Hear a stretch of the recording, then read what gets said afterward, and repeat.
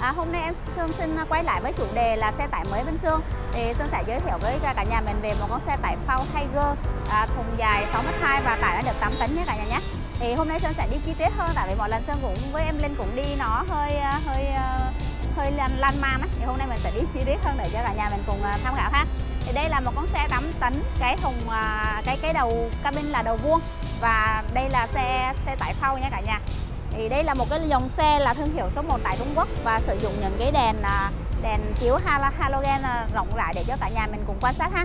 Thì tổng thể chung với một con xe Thau Tiger 8 tấn như thế này thì à, nó có một cái đặc biệt riêng ở đây là cái sử dụng máy huy chai à, số 1 tại Trung Quốc. Thì Sơn sẽ đi từ chi tiết từng cái một ha vì là xe tải mới à, nên Sơn sẽ à, giới thiệu về cái à, những cái mà cơ bản về thông số kỹ thuật thôi. Còn lại là à, tải mới thì mình sẽ không bàn về chất lượng ha. Ở đây thì cái thùng bên Sơn đã được đóng về theo tiêu chuẩn của nhà máy. Đây là một cái thùng inox. Inox bản của nó là 304 nha cả nhà. Sử dụng lốp và cũng sử dụng lốp lớn luôn ha.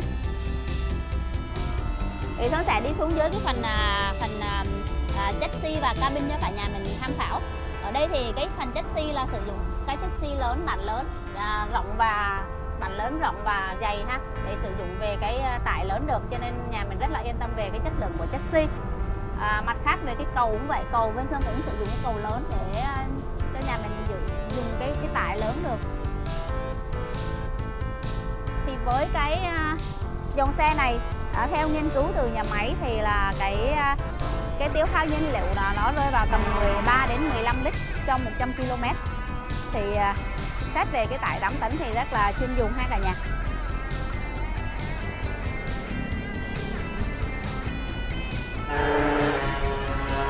Sơn tổng thể sơ sơ như vậy để cho cả nhà mình nắm qua cái dòng xe 8 tấn bên Sơn bán hiện tại bên Sơn về rất là nhiều luôn à, nó có hai màu màu xanh và màu trắng để cho nhà mình lựa chọn.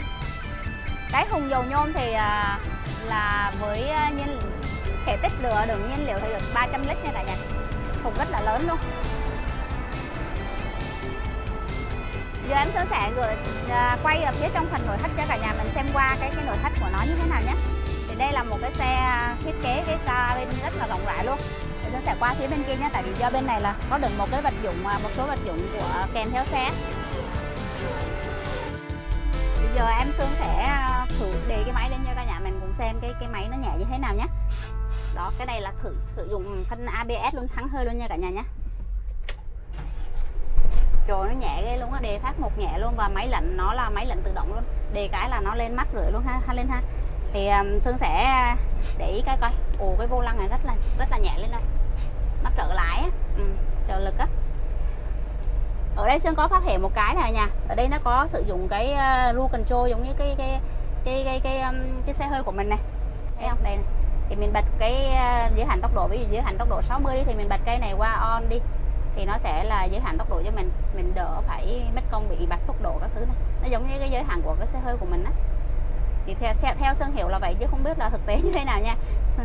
Cái này là phải phải nhiều nhiều anh mà chạy xe trên đường nó sẽ gần hơn mình á. Linh mình chỉ nói theo kiểu uh, xe hơi của mình mình áp dụng qua thôi.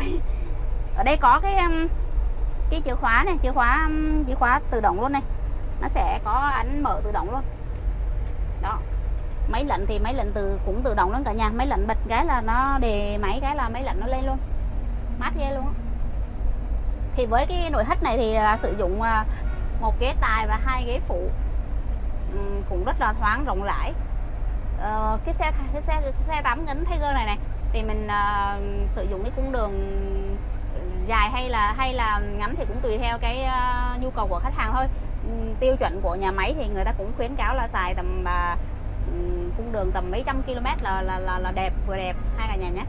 Và chở hàng thì chở được nhiều mặt hàng hơn ngoài ra thì à, bên Sơn có nhận thêm thiết kế là ngoài tại thùng ra thì Sơn có nhận thêm thiết kế là giống như cái dòng 8 tấn này này à, ờ, làm ờ, xe cứu hộ này thiết kế uh, xe cứu hộ cũng ổn này rồi những cái dòng xe um, chở chở xe máy đó chở um, để làm xe máy lên chở được nhiều xe máy lắm. Chở xe hơi cũng được luôn. Tại vì dài nó dài 62 lận rất là tiện ha. Nó đi vô ngõ ngách các thứ là cũng tiện hơn thì à, Sơn chỉ quay sơ cái này cái này sử dụng 6 số nè cả nhà. Hai tầng 6 số. Nhìn đẹp quá ha lên ha. Mấy cái này nó nó bọc cái à, nó bọc theo cái màu này, nó nó hợp ghê á hợp với cabin này ghê á nhìn chung là Sơn thấy là ổn với cái mức giá là 640 triệu để mua một chiếc xe 8 tấn chiều dài 6m2 như vậy. Mà xe mới hoàn toàn sử dụng máy quy chai thì quá là hợp lý. Thì bây giờ Sơn sẽ à, đi xuống dưới để Sơn Xong nâng cái cabin lên cho cả nhà mình xem cái máy WeChat nó nó lớn, nó đẹp như thế nào nhé. Thì à, mời cả nhà mình đi xuống dưới nhé.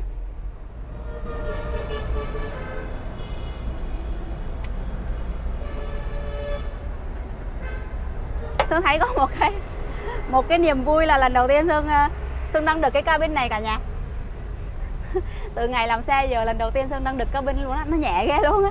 Những cái cabin khác rất là rất là nặng ha thì đây là cái máy quy chai cả nhà máy rất là lớn luôn. Thì cả nhà mình nhìn xem sơ qua cái máy quy chai của cái à, dòng thương hiệu của Trung Quốc nhé. Máy rất là lớn ha Linh ha nhìn đẹp. Linh có biết máy này là sử dụng mấy mấy số không? Dạ cái này sử dụng bốn máy bốn xi lanh à vậy hả? Linh rành hơn Sơn nhiều. Cái này nó có tia thủy uh, tia thủy lực đó chị. À. lúc mà chị nâng đầu cabin lên chị thấy nó rất là, là nhẹ, nhẹ đúng không hả? À rồi ok. Đó là Sơn Sơn cũng hiểu được như vậy luôn ha cả nhà thì à, Xuân Sơn sẽ quay sơ qua cái máy cho cả nhà mình xem như vậy. Nhìn nó nếu mà nếu khen trầm trồ quá thì cả nhà mình lại nói Sơn là cái xe này thì sao mà trầm trồ? Chỉ có là anh chị em nào mà đã sử dụng rồi đã trải nghiệm rồi thì biết nó như thế nào thôi. Còn Sơn riêng Sơn thôi chị. Đây là cũng dòng sản phẩm mới bên Sơn mới bán nữa. Cho nên Sơn cũng không dám trầm trồ gì nhiều hết trơn để sau khi bán được hàng và à, bảo hành bảo dưỡng đằng sau đó thì Sơn sẽ nắm thêm cái kinh nghiệm hơn và Sơn sẽ chia sẻ nhiều hơn ha. Còn hiện tại thì Sơn chỉ biết qua cái um, cái sản phẩm đầu vào Sơn à, Sơn mua thì Sơn cũng có nghiên cứu thị trường chứ không phải là mình mình mình không nghiên cứu. Sơn cũng đã từng nghiên cứu thị trường và đã hỏi rất là nhiều rồi để để mình mới dám nhập sản phẩm về nhé cả nhà. Chứ không phải là chứ không phải là tự dưng nhập luôn đâu ha. Thì bây giờ Sơn sẽ đóng cái cabin này xuống ha để Sơn quay lại tổng thể con xe lại cho cả nhà mình xem một cái. Đu xuống không chị cái. À mới biết mở lên thôi chứ biết mở, mở xuống đóng xuống. À ấm cái đó chưa hả rồi.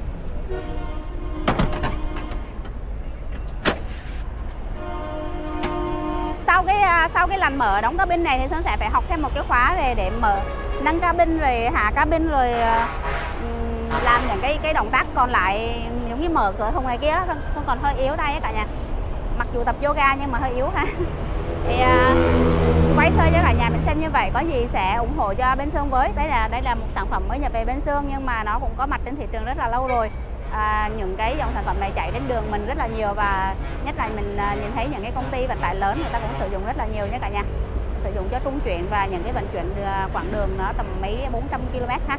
Thì à, ủng hộ Sơn với hotline của Sơn là 0931 674 675 à, số hotline mà hỗ trợ kỹ thuật bên Sơn là 0787 100 300 ngoài ra cái hotline xe mới của Sơn là không à, để Sơn nhìn trên này nè. 0708 273737 nhé cả nhà. Thì có gì đó là hotline bạn Linh sẽ giữ hotline đó. Ngoài ra Sơn có sử dụng một cái fanpage là Tân Quốc Tuấn xe tải cũ và một cái website của Sơn là cũng Tân Quốc Tuấn auto.vn và cái cái um, YouTube của Sơn đang sử dụng là kênh Tân Quốc Tuấn xe tải cũ. Thì có gì cả nhà mình ủng hộ à, Sơn và em Linh với nhé. Xin chào mọi người và hẹn gặp lại.